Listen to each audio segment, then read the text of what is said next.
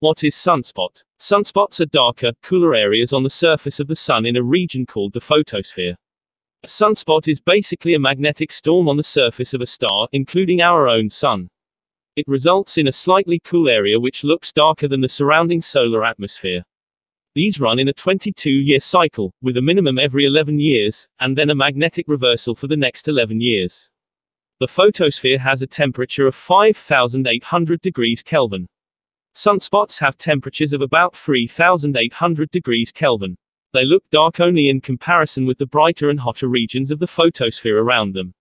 Sunspots can be very large, up to 50,000 kilometers in diameter. They are caused by interactions with the sun's magnetic field which are not fully understood. But a sunspot is somewhat like the cap on a soda bottle. Shake it up, and you can generate a big eruption. Sunspots occur over regions of intense magnetic activity, and when that energy is released, solar flares and big storms called coronal mass ejections erupt from sunspots. If you like our video, please like, share and subscribe.